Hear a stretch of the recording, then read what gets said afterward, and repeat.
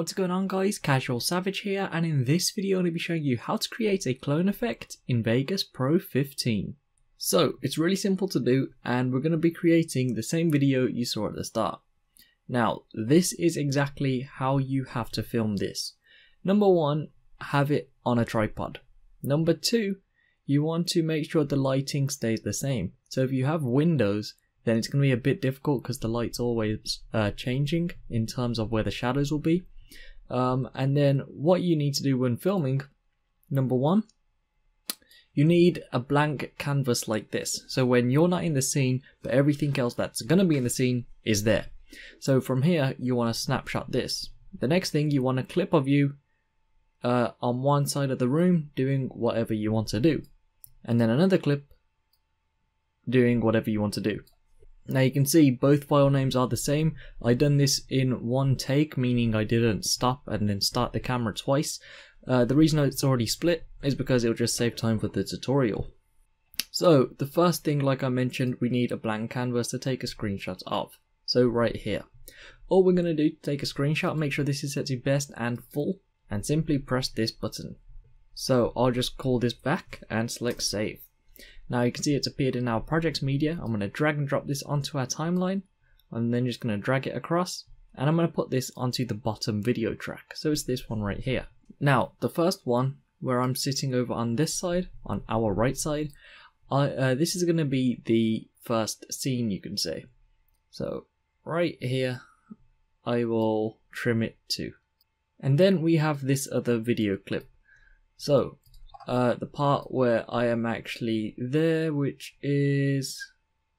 I'll go to the part where I'm just sitting down, so right here, and I can simply trim this part. Now, with this one, we're going to right click, insert a video track, and we're going to put this onto another video track.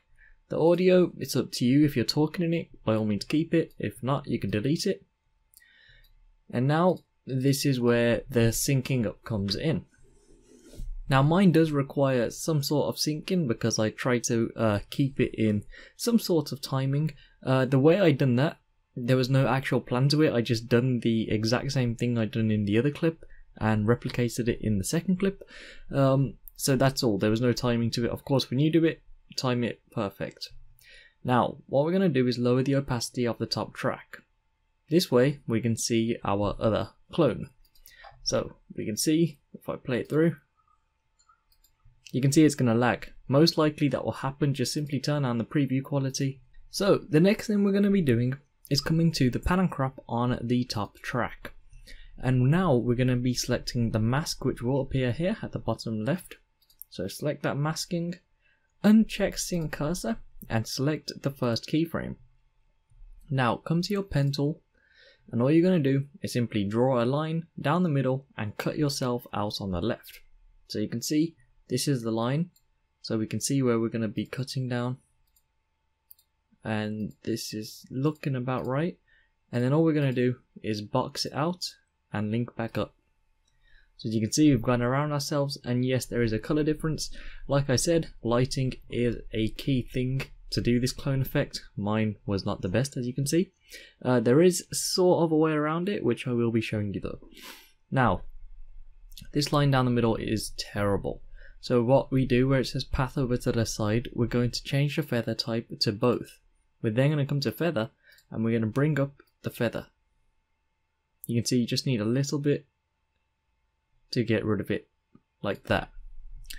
Now we can X out to this and we can put this back to 100% opacity. You can see that line is still there and it is very harsh.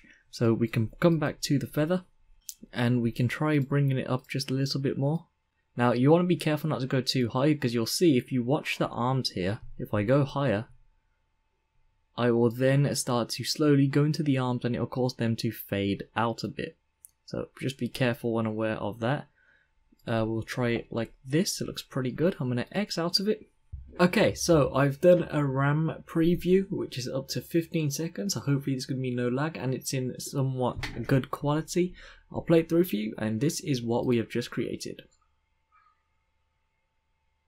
As you can see, both of them aren't synced up just yet, but you can see the natural one has sort of turned out pretty good.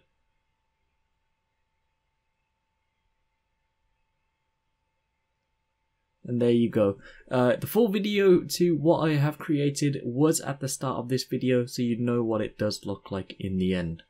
Now a tip for the lighting, say your lighting is off and it's very noticeable, come to video effects, come with brightness and contrast and drag on the default. Now most likely it's going to be your top video causing the problems.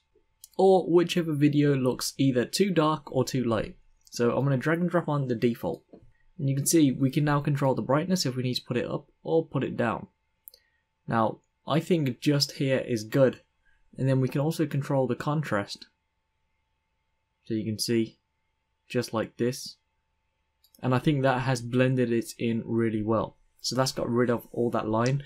Uh, so you can see what I done was put the brightness down just literally a tiny, tiny bit. And then the contrast was down 0.061. But that's how you clone yourself in Vegas Pro 15.